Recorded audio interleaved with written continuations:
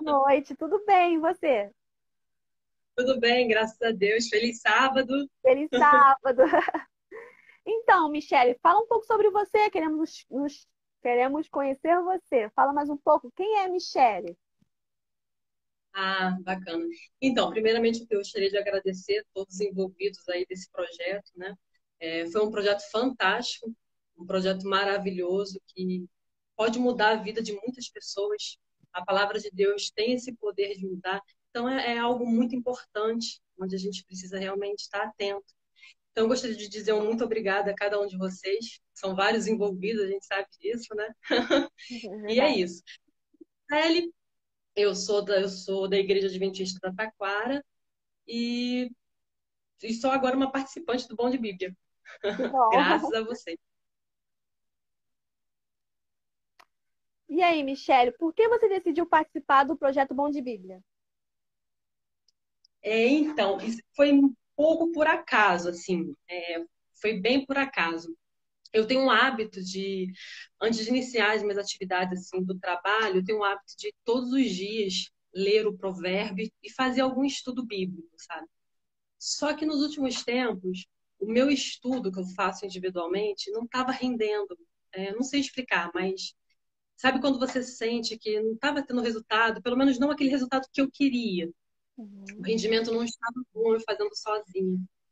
E meio que por acaso, uma colega nossa da igreja, a Daniele, queria até agradecer a Daniele aí, que ela né, foi a precursora aí que iniciou tudo, divulgou no grupo da igreja esse projeto fantástico que é o Bom de Bíblia. E aí eu lendo, vendo, aí vi, falei, poxa, bacana. E, e aí quando eu vi então que era a primeira Samuel e segunda Samuel, me animou mais ainda fiquei muito feliz, porque eu, tenho uma admiração muito grande pela vida de Davi. Então eu, percebi que primeiro e segunda Samuel ia ali mais ou menos terminar o finalzinho juízes, do último juiz, entrando já na parte da monarquia, e iria parar na, na vida de Davi. Então isso me incentivou muito, gostei, fiquei feliz. E aí foi isso, foi por acaso, assistindo aí um grupo, no grupo da igreja, que foi colocado, e eu resolvi me inscrever e graças a Deus, tô... e aí mudou muito, né, o meu ritmo de estudo, aquilo que eu, que eu não estava sentindo, que não estava rendendo, que não estava legal, teve uma mudança assim drástica. Isso foi muito bom para mim. Então foi meio que por acaso. Né, é, me ajudou muito, muito mesmo. Inclusive, eu acho que pode ficar a dica aí, né? Quem puder compartilhar esse link, mandar para o grupo da família, grupo do trabalho, dos amigos, né, esse convite, como eu recebi meio que por acaso, para participar desse projeto Onde Vive, que realmente foi muito bom, foi, foi uma experiência muito boa. Que bom. E aí, Michelle, você achava que ia conseguir ser uma das finalistas da primeira temporada 2021? Não, nunca. É, jamais, assim, nenhum momento passou pela minha cabeça essa possibilidade, assim. Não passou o que aconteceu foi, eu, eu queria muito, porque assim, você faz a prova e existe primeiro aquela classificação dos 20, né? Aí os 20 é que você faz a outra prova no domingo que sai a, classificação. Então, eu estava me empenhando, na verdade, que eu queria. É, só de participar já é uma vitória, né? Foi uma vitória muito grande porque me aproximou muito.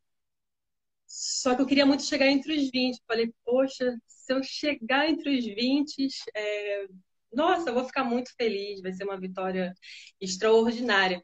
E aí eu só queria isso, assim, chegar entre os 20, que já seria uma grande bênção, assim, para mim, que acho que ia ter um estímulo maior para continuar, uma vez que eu estava sentindo que o meu estudo não estava com rendimento. E aí aconteceu. Que bom. Que mais bom. ou menos assim. Uhum. É, mais ou menos. Que bom, Michele. E qual foi o método de estudo que você usou? Ah, é. Eu fiz assim, eu não tive tanto tempo para estudar. Não vou negar que eu já conhecia, porque eu, eu já tive privilégio de, de, estudar a Bíblia, assim, ler a Bíblia sozinha, mas eu fiz sozinha, né? Uhum. E o que eu fiz? Eu, eu, eu li rapidamente 1 Samuel e 2 Samuel para eu poder saber do que se tratava. Então, eu fiz uma leitura rápida. Aí eu vi na segunda leitura. Aí essa segunda leitura foi uma segunda leitura bem minuciosa, assim, bem criteriosa, e nessa segunda leitura fazendo resumo, anotando o resumo, fazendo o resumo, e um resumo cronológico, assim, eu percebi que me ajudou bastante quando você faz um resumo cronológico, depois você consegue consegue assimilar melhor. Então foi o resumo, ah, uma outra situação também que algumas pessoas aprendem muito lendo sozinha, outras ouvindo, enfim. E a gente tem uma vida apertada, né? Trabalha, chega em casa tem que trabalhar também, é, estuda. E aí eu percebi, eu botei no YouTube, que eu gosto muito, e achei algumas situações falando de primeira e segunda Samuel. Então, nas situações onde, por exemplo, eu estava dirigindo, ou então eu estou fazendo o meu jantar, preparando o meu jantar, eu ia ouvindo, sabe, sobre tudo aquilo que eu li. E nessa parte de ouvir, para mim, eu, eu, percebi que foi, foi muito bom. Porque às vezes eu, eu falava, nossa, olha, eu, eu, nem tinha percebido isso quando eu li. E ouvindo foi, foi muito bom. Então, eu acho que essa parte de, de, de resumo, e se você puder também ouvir aquilo que você já leu, a mim me ajudou, me ajudou bastante, assim. Me ajudou, me ajudou muito. Entendi. Então, foi mais ou menos isso que eu então você usou o método de ler e também de ouvir, né? Te ajudou bastante, né? Depois que eu li, eu estava fazendo qualquer atividade onde eu comida, dirigindo, indo, esperando numa fila, eu, eu ouvia. E aí eu percebia várias situações que eu não tinha percebido lendo, mas no ouvir eu percebi. E aí me ajudou muito. Bastante, né? Ficou em primeiro lugar lá do ranking, te ajudou bastante. que bom, é verdade. Ajudou muito, sim. Deus uhum. Verdade. E, Michelle, o que essa competição te ajudou espiritualmente? Ah, ajudou muito, Thaisa, muito, muito. É, eu acho que essa competição te leva à leitura, te leva à, à Bíblia, a ler, a conhecer, a tentar entender mais ainda esse livro, que é um livro extraordinário. Então, foi um momento onde eu, por essa busca de aprender, né, porque, como você falou, era uma competição, eu percebi uma aproximação maior com Deus. Eu, eu criei, assim, uma intimidade maior com o Espírito Santo, sabe, com Deus. E, e, e isso, para mim, foi o, o mais importante, assim, foi o meu maior resultado meu maior resultado eu, foi essa, foi essa intimidade que eu acho que quando você lê, quando você procura entender a palavra e você busca, automaticamente vem essa intimidade com o Senhor. E isso foi o que eu percebi que mudou. Então, minha vida espiritual, posso dizer que mudou bastante. Graças a, essa, essa, essa, essa competição, né? Que me aproximou da leitura. Uhum. Esse é nosso objetivo, né? Aproximar as pessoas e incentivar Sim. as pessoas a lerem a Bíblia. Que bom que cada te ajudou bastante. Michele. Isso aí, cada vez mais. E, Michele, sua é participação verdade. inspirou outras pessoas? Ah, inspirou. Hum. É, assim, inspirou uma pessoa em especial, uma amiga minha, muito querida, que no dia posterior é, a gente conversando e ela estava muito triste, muito desanimada. E aí eu tive o privilégio de conseguir dar uma palavra amiga para ela, né? Mas uma palavra envolvendo é, o nosso livro, é, a palavra da sabedoria de Deus. E aí falei, da, falei dessa prova. Ela, ah, mas a gente trabalha tanto, eu estudo, não dá tempo, é mais. E aí eu conversando com ela, falei, poxa, eu fiz, foi legal. Não comentei o resultado, eu sou eu sou um pouco tímida, não, não falei, só falei que fiz a prova e tal, que era muito legal. E, e ela falou que não tinha muito tempo e tal. Mas, e aí eu falei para ela, falei, poxa, mas será que esse estudo não é o principal? Né? Será que não é esse o estudo que é o principal, que é o primeiro lugar, e as outras coisas vão se acrescentar? Por que, que a gente não tenta? Vamos lá. E aí ela ficou animada, e vou até cobrar a inscrição dela logo. E ela disse que iria fazer, iria participar iria, iria ler. Isso fiquei muito feliz, muito feliz. É importante, né? Você saber que você pode ajudar uma pessoa, de repente, a mudar alguma situação. É bacana, é muito bacana. Com certeza. E através de você, ela é. conheceu o concurso, né? E foi inspirada Isso. a participar também. Quem sabe ela não é a próxima aqui na live, né? Vai que ela também ganha. Ah, é, amém. É, verdade, né? amém. Verdade. E, Michele, o que fazer para incentivar o estudo da Bíblia entre os jovens? Entre os jovens, é, pois é. é por exemplo, um, um, uma ideia assim. Existe é, a, a Igreja Adventista, vou falar assim uma experiência pessoal minha do meu filho. Ela tem um projeto dos aventureiros, Clube dos Aventureiros. É um projeto sensacional onde eu consigo falar envolvido com pessoas extraordinárias, pessoas altamente qualificadas que dedicam parte do tempo delas a cuidar dessas crianças. Geralmente, salvo engano, são crianças de 7 a 9 anos, e depois dali eles vão para o Clube dos Bravadores, que também é extraordinário. Na, na Taquara, por exemplo, é a Terezinha, Jocélia, Noélia, Dani, Felipe, são pessoas extraordinárias. E acho que é um projeto importante para se iniciar. Vou dar um exemplo. Meu filho, ele tem hoje 10 anos. E um belo dia ele estava conversando com outro amiguinho, falando. É, seu amiguinho conhecia. Enfim, falando sobre Deus. E eu percebi que o, o garotinho prestou atenção no que ele estava falando. E eu sabia que esse menino não tinha nenhum conhecimento assim. E eu percebi que eu acho que é uma tendência. O jovem, ele tem uma tendência natural de ouvir o outro jovem sabe? O jovem tem aquela mania de falar, ah, meu pai, minha mãe não sabe de nada, meu pai, minha mãe é velho, né? É um pouco. E quando um jovem evangeliza o outro, eu tive essa impressão de, de, de dar um resultado assim mais, mais eficaz. E eu vi isso acontecendo com meu filho. Então, acho que se iniciar, por exemplo, um projeto desse que você já iniciar com criança, né? Por exemplo, o Clube dos Aventureiros, é extraordinário, já é um caminho né, maravilhoso. E uma outra maneira é esse projeto, projeto Bom de Bíblia, onde tem diversos jovens, né? E eu acho que é um caminho, é um caminho sim muito bom divulgar mais e mais esse link aí para os jovens poderem aderir cada vez mais. Eu acho que é, inclusive no domingo fazendo a prova, não sei se ele está aí. Eu vi um, não sei se também estou errada. Eu vi um rapazinho que ele parecia ser tão novinho. É, o nome dele era Anderson né? Porque no domingo a gente se vê fazendo a prova. E eu fiquei, nossa, ele parece ser tão jovem. Aí me veio aquilo na cabeça e falei, poxa, que bênção, né? Uhum. Ele tão jovem, tanto. Imagina se o nosso, nosso país é, fosse dessa maneira. Imagina se eu tivesse a oportunidade de ter conhecido a palavra quando ainda com 20 anos, 18 anos, muita coisa poderia ter sido diferente. Então, realmente é muito importante e eu acho que se a pessoa, a pessoa pode pensar em pensar no, na criança ainda no Clube dos Aventureiros, Bravadores, e, e é um belo início, um bom caminho, não tenho dúvida. Isso aí, Michele. E para encerrar sua participação aqui, Michele, manda um recado aí para o seu distrito, para sua igreja, convidando as pessoas para participar do Bom de Bíblia. Ah, pessoal, é, é bom demais, é muito gratificante.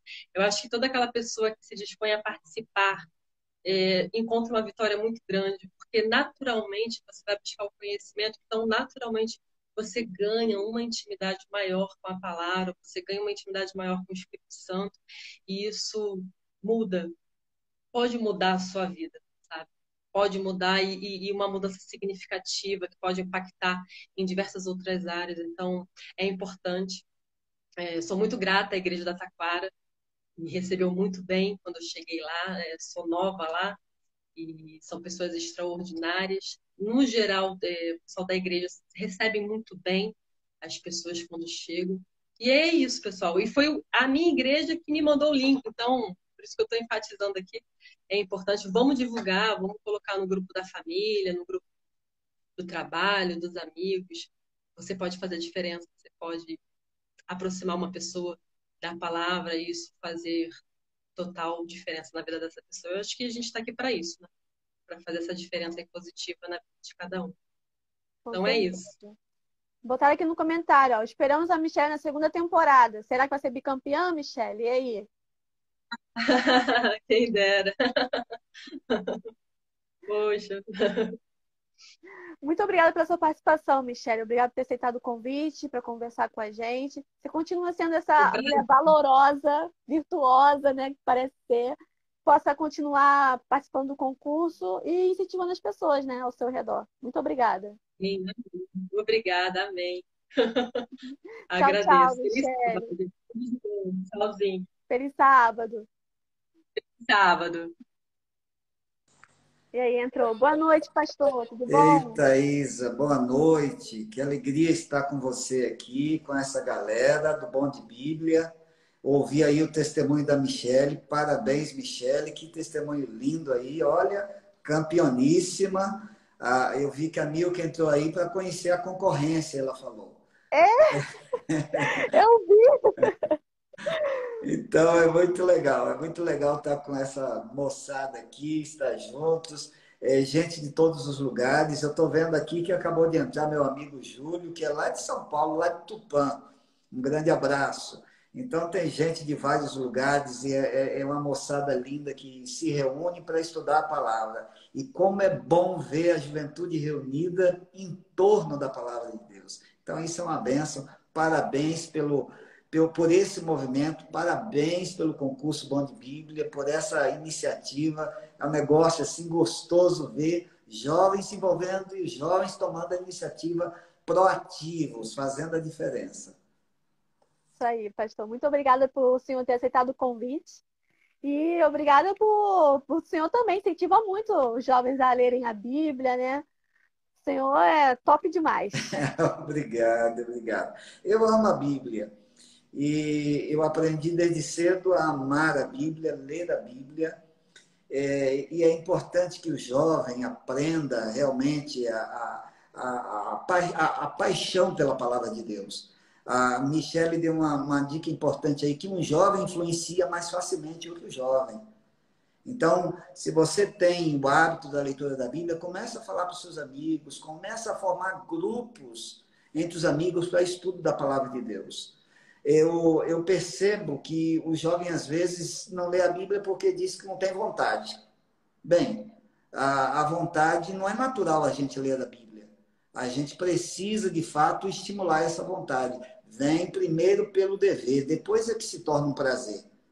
Então, é quando, à medida que a gente vai lendo, é, qual é o melhor método de leitura da Bíblia? É aquele que você usa. Então, leia de fato o livro. Essa é uma hashtag que eu gosto de usar. É, faz muito tempo que eu uso essa hashtag e eu, eu vivo dizendo para a moçada: ó, leia o livro, leia o livro. Tem que fazer disso uma prioridade. Você tem que levantar pela manhã. A primeira coisa a fazer é ir para o livro. Antes de entrar nas redes sociais, primeiro o livro. Antes de tomar o desejum, café da manhã, o livro primeiro. Antes de ligar para o namorado, para a namorada, primeiro livro. Antes de ir para o trabalho, primeiro livro. Então, leia o livro e tem que fazer isso todos os dias. Isso aí, pastor. Criar um hábito, né, de ler o livro, acabou aí vai acabar fazendo, é, você nem mais é, vai Parte ser algo prazeroso, né? É, vai ser, você não vai nem mais conseguir fazer qualquer outra coisa sem ler o livro, né? Vai ser algo fantástico. Sem dúvida. E é, é um hábito que, que você vai desenvolvendo. Você tem que criar esse hábito. A, a vida é feita de, de, de rotinas que a gente desenvolve. Então, a gente tem uma rotina de trabalho, tem uma rotina de estudos. Então, a gente precisa também ter uma rotina na vida espiritual. Comunhão é essencial. Então, logo cedo, você tem que tomar tempo para a palavra de Deus. É, durante muito tempo, eu, eu li a Bíblia no final das minhas atividades. Eu deixava para estudar à noite. Aí eu comecei a perceber que não estava retendo muita coisa. Até eu descobri um texto em Isaías, Isaías capítulo 50, verso 4, que lá diz que Deus nos acorda pela manhã para falar ao nosso ouvido. Aí caiu a ficha, eu disse, peraí, por que, que eu não estou assimilando muita coisa? As lições de Deus não estão ficando no meu coração. Porque eu, tô, eu chego no final do dia, minha agenda já está cheia, minha mente já está é, sobrecarregada. Eu disse, Deus quer falar comigo logo cedo. Eu tenho que começar a inverter isso, priorizar Deus. Então eu comecei a inverter e aprendi. Foi um longo aprendizado até formar o hábito. Então a gente precisa formar uma rotina espiritual de comunhão, de leitura diária da Bíblia, de oração, da mesma forma a frequência à igreja, aos cultos da igreja, de testemunhar, tudo isso faz parte das disciplinas espirituais. Isso aí. É, o negócio é começar, né? Começando de pouquinho em pouquinho, gera o hábito. Então, pastor, vou te fazer umas perguntas. Posso? Pode, claro. Vamos lá. Então, Como o senhor iniciou a vontade de tocar esses projetos? Bem, é, veja, o, o Leio Livro foi uma hashtag que eu comecei a usar e durante muito tempo vem usando. Aí um, um, colega nosso, pastor Rafael, que é departamental de jovens na, no sul do Espírito Santo, na ASIS, ele viu um projeto na internet e ele compartilhou em nosso grupo, empolgadíssimo. No mesmo momento eu gostei da ideia, entrei no, no site para verificar. Era um, um site que incentivava a leitura de clássicos, de livros clássicos. E eles propunham que cada um lesse um parágrafo ou dois do, do livro e gravasse um pequeno vídeo. Quando eu vi aquilo, eu disse: tá aí, eu leio o livro, vamos criar um projeto para o jovem ler a Bíblia. Então, imediatamente eu reuni uma equipe aqui da, da União, pessoal de mídia, sentei com o pessoal do TI e disse: olha, gente, a ideia é essa. Eu estava tão empolgado que eles se empolgaram também. E, e, teve um, então, que, que o Michael, ele se empolgou tanto que ele virou praticamente duas noites montando o site do Leio Livro. Caramba. E aí, no terceiro dia, eu já tinha a Bíblia inteira dividida em pequenas partes, em partes menores, não por capítulos, mas por sessões, para facilitar a leitura e os jovens se interessar em ler a Bíblia rapidamente. E aí nós lançamos o site, foi assim, da noite para o dia, de um momento para outro, e a coisa foi indo. E é tão simples, é uma leitura interativa da Bíblia. A ideia é que o jovem grave o seu texto bíblico, ele publique no YouTube, não pode esquecer, projeto, hashtag, leia o livro. Senão fica perdido lá no, no, no YouTube e não está linkado com o projeto geral. E aí eu comecei a convidar alguns amigos ilustres aí para participarem. Então, você entra lá, tem que procurar onde é que está, mas tem a Melissa Barcelos, o Robson Fonseca, Michelson Borges, Rodrigo Silva, Luiz Gonçalves. Então, toda essa galera da igreja que é conhecida da moçada participou com a gente. Inclusive, Cid Moreira. Então, pedi para ele, Cid Moreira é, emprestou a voz dele, a imagem, voluntariamente participou do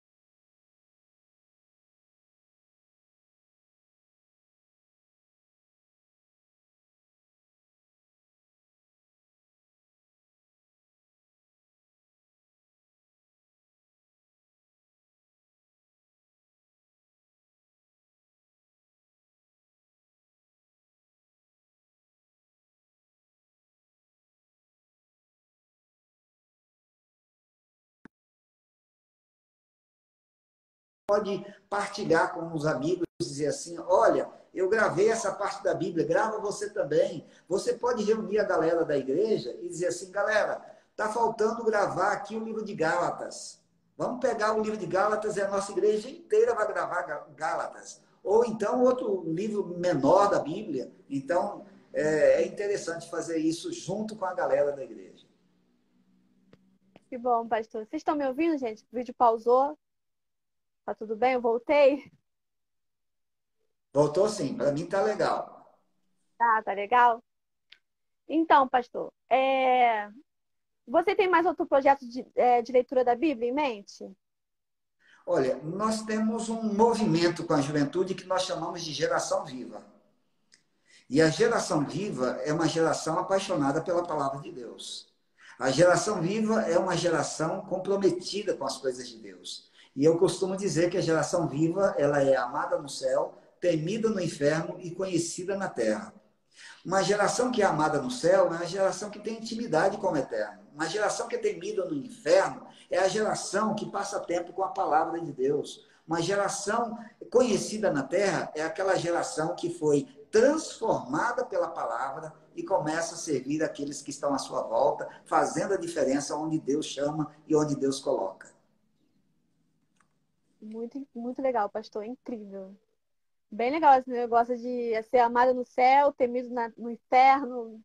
Bem legal, gostei. Bem e conhecida na terra. Isso aí. Incrível. Qual a importância de projetos como os seus e como o concurso Bom de Bíblia? Olha, é mostrar para o jovem e para a igreja como um todo que a Bíblia é real, é um livro vivo. Então, não é um código morto. E para que a gente possa fazer com que as pessoas se interessem pela palavra de Deus. Nós precisamos criar roupagens novas para que, especialmente, os jovens se interessem na leitura da palavra do Senhor. Então, é, é apenas uma roupagem. O bom de Bíblia é uma roupagem. O leio livro é uma roupagem. É, é apenas uma caixa. O importante é que a moçada tenha uma experiência diária com a palavra do Senhor. Então, é uma ferramenta? É uma ferramenta, é apenas um instrumento. Mas o que importa é que a pessoa tenha uma experiência diária para ouvir a voz de Deus. Se a gente não aprender a conectar o ouvido, sintonizar o ouvido com a voz de Deus, nós não vamos ter direção divina na vida. Tem muitas vezes eu encontro jovens que dizem assim: "Ah, eu gostaria tanto de ouvir a voz de Deus". Sim, mas quanto tempo você passa com a Bíblia? Porque Deus se revela em sua palavra. Então, quer ouvir a voz de Deus, você tem que passar tempo com a palavra. Você tem que ter intimidade com a palavra. Deus fala através desse livro, é um livro vivo. Quando você o lê, você tem a companhia do autor. Então, você precisa ter essa experiência com Deus. Incrível, pastor, incrível. E o que o senhor diria para alguém que não é bom de Bíblia e por isso não quer participar do concurso? Ah, não, eu acho que você já disse que é tão simples participar, as perguntas são objetivas, é só ir marcando a resposta. Se você errar, você alguma coisa você vai aprender. Mas se você tiver um interesse pessoal, olha, a Michelle deu dicas incríveis aí. Ela fez uma leitura rápida da Bíblia, dos dois livros lá, depois começou a detalhar, fez um resumo. Eu acho que aí a Lívia comentou, no, no, no, fez um comentário aí, que o resumo dela já se tornou maiores do que os livros da Bíblia. Então, faça um resumo, estuda esse resumo, se prepara e você não se prepara para fazer, enfrentar um vestibular, para enfrentar um Enem. Então, prepare-se para participar do Bom de Bíblia. E, com certeza, pelo menos o aprendizado já está garantido.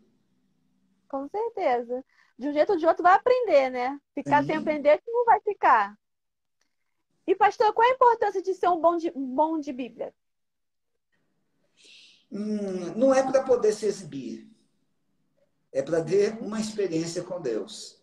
Ah, mais uma vez, a Michelle colocou assim, bem próprio e bem pontual, que ela cresceu na sua experiência com Deus, passou a ter intimidade com Deus, ouvir mais a voz do Espírito Santo. Porque a, Bíblia é alimento diário, é pão, não é bolo. Bolo a gente come assim de vez em quando. Pão a gente se alimenta dele diariamente. Então é pão. É o pão do céu que está à nossa disposição. Então nós precisamos é, ser conhecedores da Bíblia. Então, o meu desafio para os jovens é esse. Você já leu a Bíblia de capa a capa? Você já parou para anotar na Bíblia aqui, procurar com facilidade textos bíblicos para testemunhar de sua fé? Você tem uma experiência com a palavra de Deus? Então, ser bom de Bíblia é isso, é ser capaz de abrir a Bíblia e encontrar verdades que alimentam sua alma, seu coração, sua mente, mas também coloquem em seus lábios, em sua boca, palavras de vida eterna para anunciar aqueles que estão à sua volta. Então você vai falar da Bíblia com propriedade, com segurança, para os amigos, para os colegas na faculdade, para os vizinhos, onde você chega, você Jesus se torna seu assunto, a Bíblia se torna seu assunto. Então essa é a importância de ser um bom de Bíblia. Isso aí. Para a gente falar qualquer assunto, a gente tem que estudar, compreender, entender, né? E para falar de Jesus, a gente tem que conhecê-lo, ler a Bíblia de capa a capa, né? É isso aí. É sempre foi isso aí. E, pastor, você poderia falar algumas palavras para quem já está participando do Bom de Bíblia esse ano?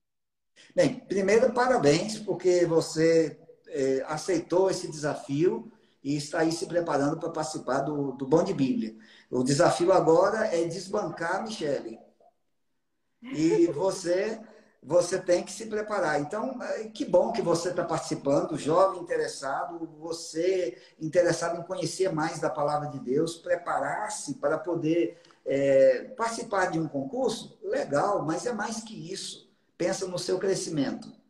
A Ellen White diz que Ellen White é uma escritora adventista, uma notável escritora adventista, ela diz que a, o, o, desejo de, de aprender mais da Bíblia vai aumentando com o estudo. Então, quanto mais você estuda a palavra de Deus, mais aumenta essa vontade, o desejo, a sua paixão pra, por Jesus e por sua palavra. Isso aí, pastor. E uma última pergunta, pastor.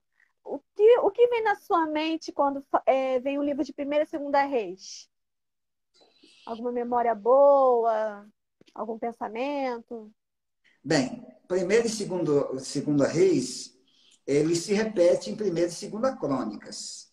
Então, é o livro dos, que mostra toda a, toda a monarquia em Israel e em, em Judá. E é você fazer o link e compreender, é, vendo Deus trabalhando na história de Israel, nos altos e baixos. Homens que, que tinham oportunidades, porque tinha sacerdotes do lado, tinha o tabernáculo ali a, a seu acesso, à sua disposição, mas uns escolhiam servir outros deuses, seguir ídolos, ter seus próprios ídolos, inclusive. E quando você olha na história da, do, de reis, você vê homens que tinham uma experiência viva e real com Deus e homens que não tinham nenhuma experiência com Deus, que desconheciam tanto a Deus quanto os feitos de Deus. Então você, essa é o que vem assim em primeiro reis, é a história desses reis e uma sequência de nomes. Quando você chega em crônicas, aumenta os nomes, os nomes aí as cronologias vão aumentando. E como eu gosto demais de, genealogias, eu gosto de estudar genealogias, eu aprendo muito com esses livros. Então eu gosto de fazer os links, as conexões e vou descobrindo as famílias e vou vendo é, o que está acontecendo em cada história. É bom ver a gente ler a Bíblia tendo panorama de fundo. A gente passa a ter um background da história. Então é importante que você estude. Que bom, pastor. Então, a gente temos 10 minutos para terminar a nossa live. O senhor preparou uma mensagem para a gente? Ah, sim. Eu gostaria de convidar essa moçada que está aqui com a gente para a gente meditar num breve texto aqui da Bíblia. É 1 João, capítulo 2, versos 12 a 14. 1 João, capítulo 2, a partir do verso 12, diz assim: Filhinhos, eu lhes escrevi porque os seus pecados foram perdoados, graças ao nome de Jesus. Aí no verso 13 diz: Pais, eu lhes escrevi porque vocês conhecem o Pai desde o princípio. Aí depois de jovens, eu lhes escrevi porque vocês são fortes, venceram o maligno e a palavra de Deus permanece em vocês. João fala aqui de três etapas da vida.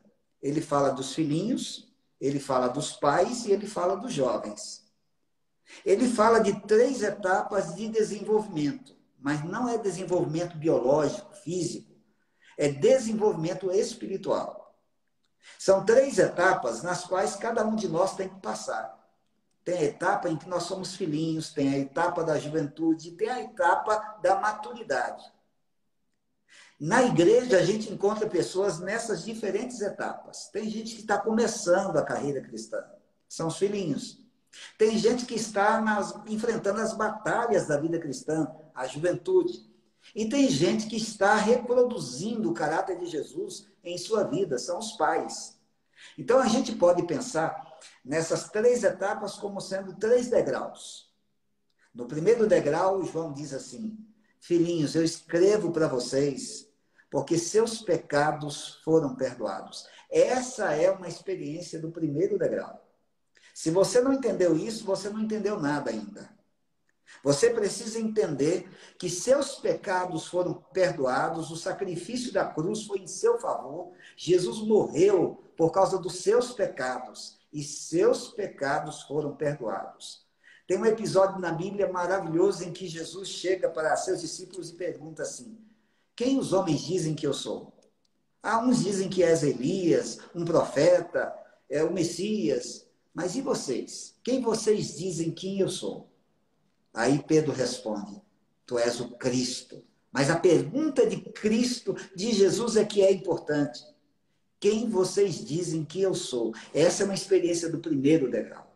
Se você não entendeu que você foi perdoado por Cristo Jesus e não começou uma caminhada com Ele, você não vai conseguir é, dar, avançar um passo para o segundo degrau. Porque é importante saber que seus pecados são perdoados. Porque no segundo degrau tem uma batalha esperando por você. A vida cristã não é uma festa. É um dia de festa quando você é batizado, mas a vida cristã é uma batalha. É uma batalha diária. Nessa batalha nós não precisamos ter medo. Por quê? Porque já somos vencedores. Jovens, eu escrevi para vocês porque vocês venceram o maligno. Vocês são fortes. Então, quando, quando João escreve, ele diz assim: olha, no segundo degrau é a experiência da vitória. Não é que você é vencedor em si mesmo. Não há nenhuma força em si mesmo. Mas ele venceu por você. E a vitória dele é a garantia da sua vitória. Então, em Cristo, nós somos vencedores. Paulo chega a dizer: nós somos mais que vencedores. Então, jovem, você é um forte. E como é que você, qual é a atitude de um vencedor, de um jovem vencedor? A atitude do vencedor é: a palavra de Deus permanece em você. Você passa tempo com a palavra de Deus. Os vencedores serão encontrados de Bíblia aberta. Então, leia o livro, participe do Bom de Bíblia, tenha uma experiência com a palavra de Deus, conheça cada dia aquilo, a vontade de Deus para a sua vida em sua palavra. E aí vem a experiência do terceiro degrau, que é a experiência da maturidade. Pais, eu lhes escrevi porque vocês conhecem o Pai desde o princípio. Que princípio? Do primeiro degrau, quando seus pecados foram perdoados. É aquele santo, aquela santa homem e mulher de Deus que aprendeu desde cedo a caminhar com Jesus. Que os pecados foram perdoados e cada vez que falha, volta-se para a cruz e suplica perdão, experimenta a novidade de vida e o caráter de Jesus começa a se reproduzir na vida da pessoa. Caráter. É, essa escritora que eu já citei aqui, Ellen G. White, ela disse que a única coisa que a gente vai levar para o céu é caráter. Um caráter semelhante ao de Cristo Jesus. É o tempo com a palavra que o caráter de Jesus vai sendo impresso em nossa vida.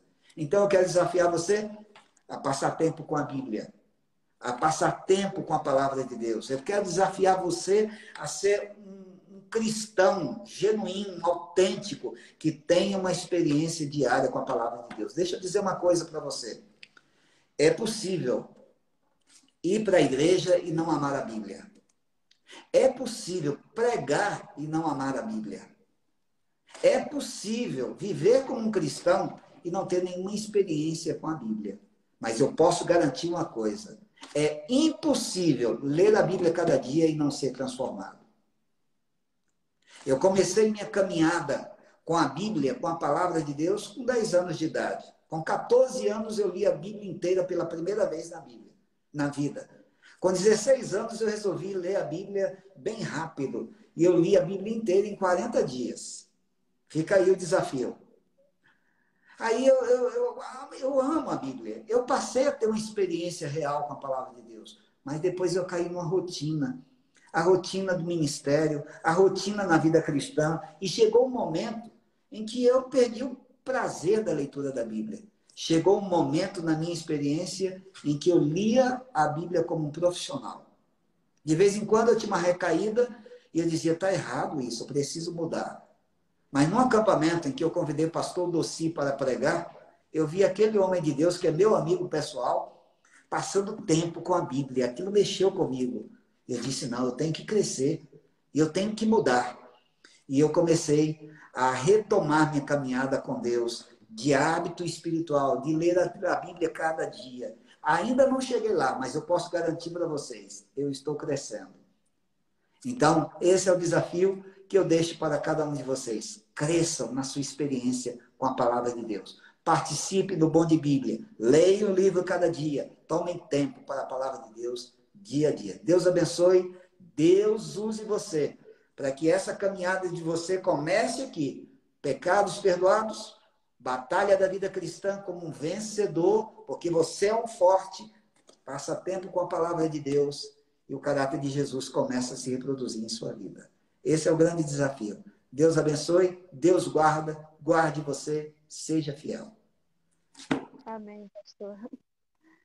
Uma excelente reflexão. O senhor pode orar para a gente, para encerrar? Claro, vamos orar. Ó oh, Deus, eu te agradeço pela oportunidade de estar aqui com esses irmãos, esses jovens, com a Thaisa. Estudando sobre tua palavra, ouvindo conselhos, sendo advertido por ela. Obrigado, Senhor, porque tua palavra é viva. Nós encontramos aqui palavras de vida eterna e que essa experiência amadureça em nosso coração, na vida de cada um dos teus filhos, para que a gente possa, é, ao ler tua palavra, conhecer-te cada dia mais e aumentar nossa fé, nossa experiência contigo, nosso entendimento da tua vontade e nos preparar para o reino eterno. Dá a cada um dos teus filhos tua bênção esta noite, fica com a juventude da tua igreja, eu te peço no nome santo de Jesus. Amém, amém. Amém, pastor. Muito obrigada, pastor, por o senhor ter aceitado o convite. Foi muito bom passar esses momentos com o senhor. O senhor realmente é um, um discípulo. É incrível o senhor falando sobre a Bíblia. Eu já li a Bíblia, mas eu fico com mais vontade de ler a Bíblia só escutando o senhor falar comigo. E espero que essas pessoas que que estão assistindo a live possam também ter sentido essa vontade de, de ler a Bíblia. Muito obrigada, pastor. Grande abraço. Deus abençoe. Um abração para todos. Fiquem na bênção. Abraço, pastor. Tchau.